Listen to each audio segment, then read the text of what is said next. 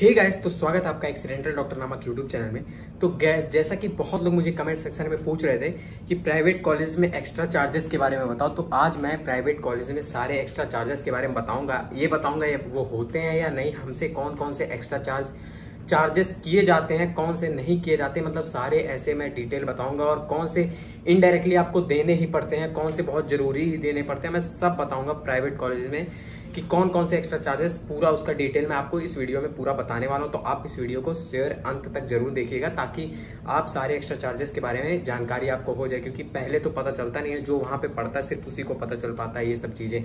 तो गैस चलिए बताता हूँ मैं आपको। तो गैस बेसिकली ऐसा देखा जाए कि जो चार्जेस उसमें लिखे रहते हैं, शुरू में जो हमें पैम्पलेट मिलते हैं, उसमें जो फ़ीस रहते हैं, वो तो एकदम श्योरली लिए जाते हैं। बाकी उसके अलावा कोई भी ऐसा एक्स्ट्रा चार्जेस गवर्नमेंट मतलब अब तो सेंट्रल गवर्नमेंट के उसके अंडर सब देखा, देख रेखी होती है तो उससे कोई एक्स्ट्रा चार्जेस आपको कॉलेजेस में अब चार्ज नहीं होता है। कोई भी एक्स्ट्रा कॉलेजेस कोई भी एक्स्ट्रा सॉरी चार्जेस कोई भी एक्स्ट्रा चार्जेस आपको अब कॉलेज में चार्ज नहीं किया जाता। किसी भी किसी भी रूप में, किसी भी तरीके से आपको कोई एक्स्ट्रा चार्जेस नहीं चार्ज किया जाता। जो आप, जो आपसे पहले ही मांगे होंगे, वही आपको देना पड़ेगा। उसके अलावा कोई भी आपको एक्स्ट्रा चार्जेस नहीं देना पड़ेगा। गैस गैस ये एकदम श्योर बात है, आपको कोई एक्स्ट्रा चार्जेस नहीं देना पड़ेगा। बाकी मैं आपको बताता हूँ कि आपको कैसे चार्जेस देने पड़ सकते हैं। जैसे कि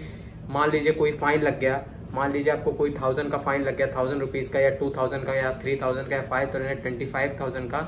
आपको अगर फाइन लग गया कॉलेज वाले अगर आपके ऊपर फाइन लगा दिए तो आपको वो चार्जेस देने पड़ेंगे, वो एक्स्ट्रा चार्जेस में नहीं आते, वो तो चार्ज आपको देने ही पड़ेंगे अगर आपने कोई इनडिसिप्लिन हरकत की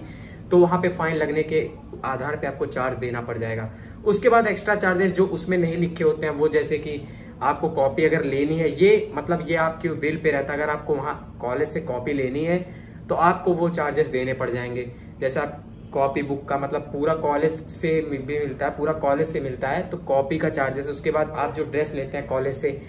उसके बाद आप जो एप्रन लेते हैं मतलब जो हमें एप्रन मिलता है उसका चार्जेस मतलब ये सब चार्जेस आपको देने पड़ जाएँगे, देने पड़ते हैं पहले ईयर में, और ऐसे ही बस ऐसे ही छोटे मोटे चार्जेस होते हैं मतलब चार्ज ये होते हैं, लेकिन और कोई एक्स्ट्रा चार्जेस नहीं लेते हैं, जैसे कि मान लीजिए कि मान लीजिए पूरे फ़ीस स्ट्रक्चर आपको अगर 65 दिखा रहा है तो ऐसा नहीं कि वो बढ़ के 75, 80 या 1 करोड़ तक चल जाएगा तो ऐसा कुछ भी नहीं होता है। कोई भी ऐसा खास एक्स्ट्रा चार्जेस नहीं होता है ये तो छोटा मोटा कॉपी किताब अगर आपको कॉलेज से लेना है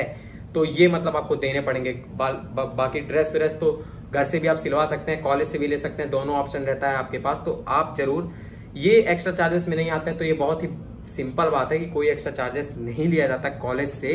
तो ये गाइज़ ये फाइनली मतलब ये वीडियो मैं पूरा डिटेल बता चुका हूँ। अगर आपको इससे रिलेटेड और भी कुछ पूछना है तो आप मेरे इंस्टाग्राम हैंडल पे आके मुझसे पूछिए। मैं आपको बताऊँगा या फिर आप कोई भी, किसी भी टॉपिक पे अगर वीडियो चाहते हैं तो कमेंट सेक्शन में कमेंट करिए। मैं आपको कमेंट सेक्शन में ज़रूर रिप्लाई करूँगा, कोशिश करूँगा रिप्लाई करने की। और अगर आपको बहुत ज़्यादा क्वेरी है तो आप मेरे इंस्टाग्राम हैंडल पे आके तुरंत मुझे मैसेज करिए और तुरंत अपनी क्वेरी क्लियर करिए। Thank you so much guys